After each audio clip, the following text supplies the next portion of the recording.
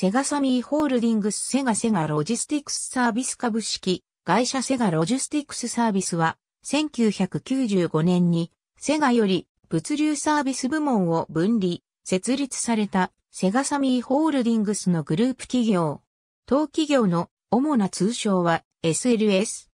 セガとカプコンが販売するアーケードゲーム機並びにサミーが販売する7号店容器の物流並びに保守、サポート業務を主として行っている。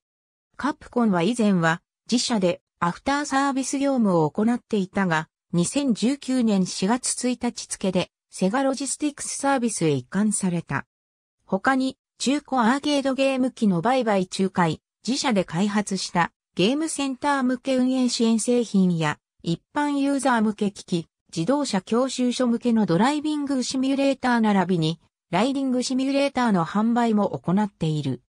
かつてのアーケードゲーム筐体工場であった矢口事業所にはデートナ USA、バーチャレーシングなどの往年のセガのアーケードゲームがいつでも稼働可能な状況で整備、保存され、セガフェスなどセガサミーグループのイベントで公開されている。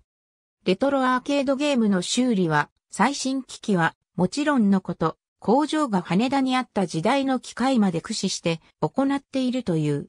2021年5月6日に本社を大田区南蒲田からセガ、サミーなどと同じ住友不動産大崎ガーデンタワーへ移転した。これにより、セガ創業の地である大田区に本社、本店を置くセガの子会社はなくなった。かつては札幌市、仙台市、川口市、伊勢崎市、名古屋市、広島市、熊本市にサービス拠点を置いていたが、名古屋サービスは2021年3月に閉鎖され、同年4月に福岡市にサービス拠点を再設置した。ありがとうございます。